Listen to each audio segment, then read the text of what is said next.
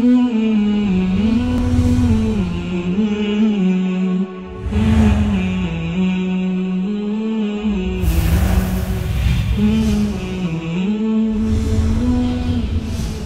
का सवाल, लकुम दीनकुम वलिया दीन, तुम्हारे लिए तुम्हारा दीन, मेरे लिए मेरा दीन, इस आयत से क्या समझ मिलती है?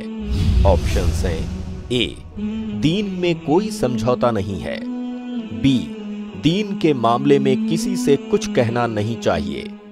सी, सबका दीन सच्चा है।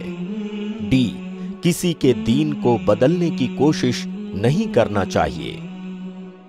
जवाब देने के लिए I plus TV app download करें और क्विज सेक्शन में जाकर जवाब दें। इंशाअल्लाह इस सवाल का सही जवाब और इनाम पाने वाले का नाम कल बताया जाएगा।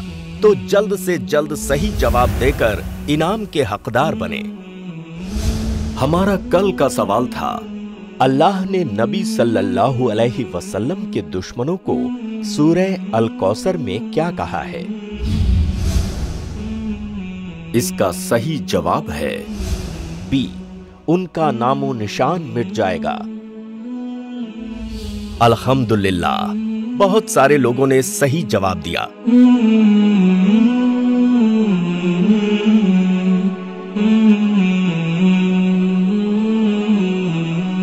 कुरा अंदाजी के मुताबिक, इनाम के हकदार बने हैं। इन्हें इनाम की बहुत बहुत मुबारकबाद। अब मुताला करें इन आयतों का। क्योंकि कल का सवाल इंशाल्लाह इन्हीं आयतों से होगा। अपनी तैयारी करके कल के सवाल में ज़रूर हिस्सा लें।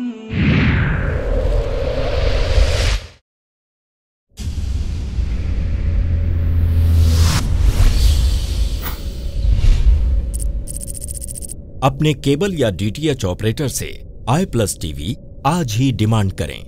I plus TV free to air और इंडियन रजिस्टर्ड चैनल है।